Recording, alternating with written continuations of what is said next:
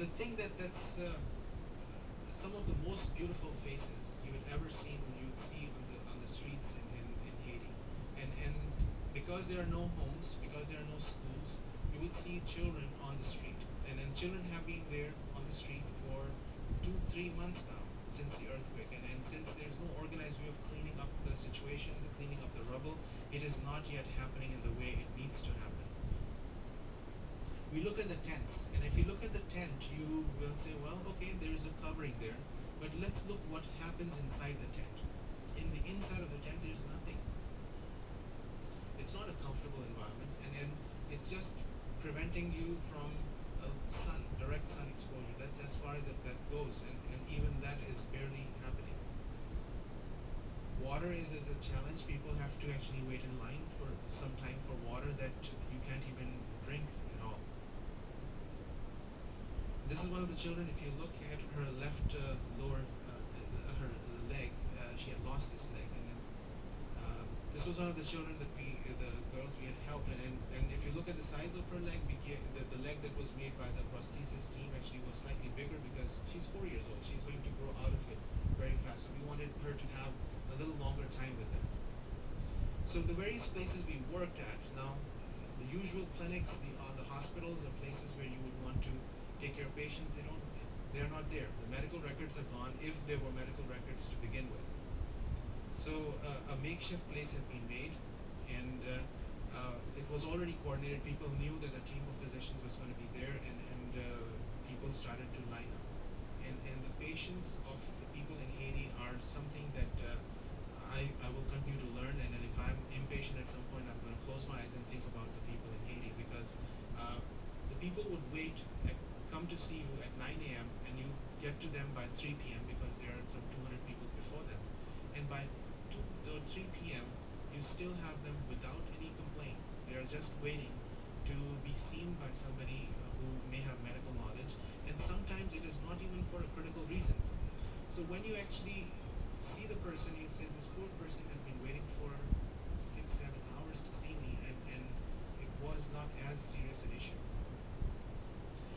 clearly people have been affected. You, you can see it in the eyes of individuals, in the facial expressions, how their lives have, have completely changed in so many ways. Uh, this was a situation where there was a grandmother, and, and this grandmother lost her husband, lost her daughter and her husband, uh, and basically was left with three children to take care of.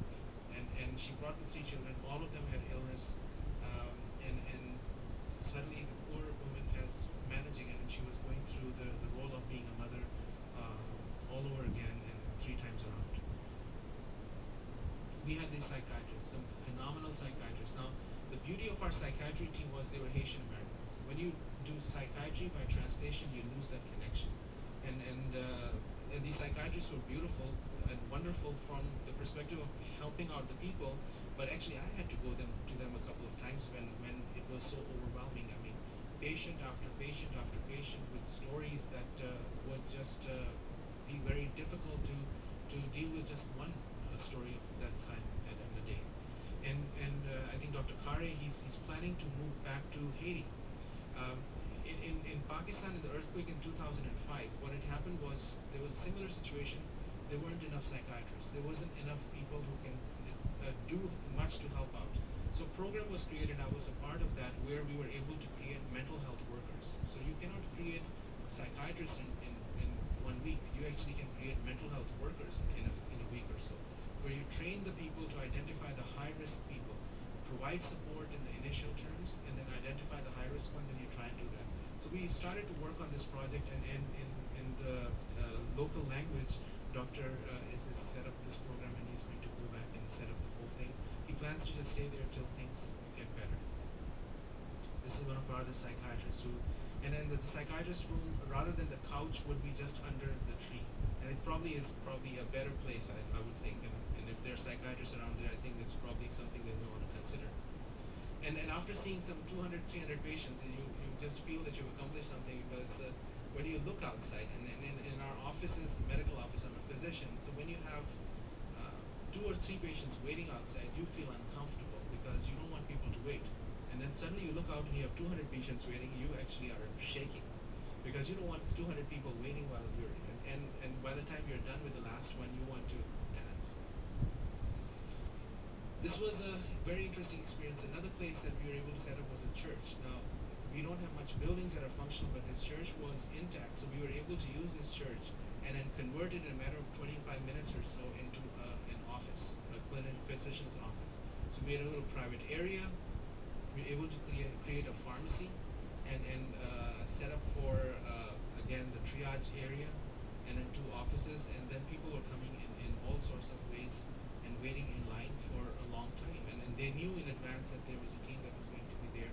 And you would see them patiently waiting. And, and, and, uh, and uh, we had these nurses who were uh, able to work as pharmacists. We had a team of people who went to, to translate uh, as well, but we had to just make them uh, the, the specialists in pharmacy, pharmacy training. We just said, look, this is how you have to do. These are the medicines. We organize the medicines, and we made it work. Um, again, we went to a hospital. This hospital is a building which is state safe. But this building is now being used to have a safe environment for the women to sleep at night because there's not much area out there. There's not much equipment inside the hospital, uh, which is functional. So we just use the, the building to be able to help out and, and manage the, the patients. There is some equipment, but nobody knows how to set it up, so it's of no use. And, and that's uh, little things that you would think and take for granted that you need an engineer to set up the, the, the room, and then and once you're able to set up the room, you would be able to uh, do surgeries in the place. So some of the work by the prosthesis team uh, was uh, performed as well. The prosthesis team, they had uh, they, they were able to identify patients in advance. There was a hospital where they were able to see some of the patients, and and, and these people were amazing. Um, you know, we, we went there. We had traveled. It took a long time. Late at night, they went to see some of the patients. It was like around uh, 9 p.m. Or, or and so on, and then they started to set up their workshop. And, you know, it, it's like you're and then when they had seen the patients, they were up all night working on the prosthesis. And then uh, I hadn't worked with them, but I said, when do they rest? When do these people get some rest? But I understood where they were coming from.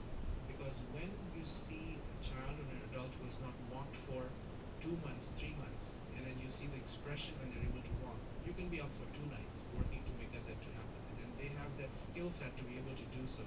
And, and um, some amazing people who are doing some amazing work we, we came across. Um, this is Paul Macy and, and David who were able to set up this uh, prosthesis. If you look, they're using a brick. It, it's, it's literally MacGyver in action, if you will. You're making things happen.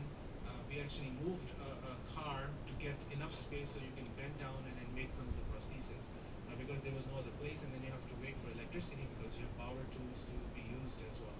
So all of these things need to be juggled in such a way and then you find the time to be able to, um, to make it at the right time. And, and the prostheses have to be exact right dimensions, otherwise the people are not able to use uh, them the way they need to be.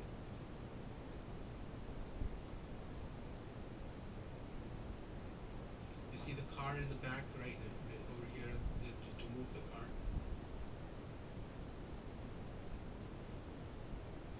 So we had so much work to do that even I'm a lung doctor, but I had to start to work and help them with the prosthesis as well. Um, and and uh, again, it's somewhere in the middle of the night now, and, and, and now that the limbs have been made, we the next day that they were going to go back and and uh, actually try the, the people who had lost their limbs to, to be able to work. So this was one of the first patients um, who had lost his lower extremity, left lower extremity, and they were able to set up uh, an above knee amputation and, and, fit him with a prosthesis, and it was a per- perfect fit. The beauty of the, their, the, this team's work was that every single patient who was tried by the end of our visit was walking. And and uh, if you look here, uh, this picture is worth uh, the, the the reason people were up all night because the expression of a person when they're able to put weight on their body and, and, and walk when they've not been able to do so for for some time is is uh, beautiful. And if you look at the, the physician in the back, that's Dr. Kamal. Uh, his expression are like a coach. The if, if you look at the mind uh, or, or the, the, the expressions of, of a coach in Olympics, they're just trying to look at those cases.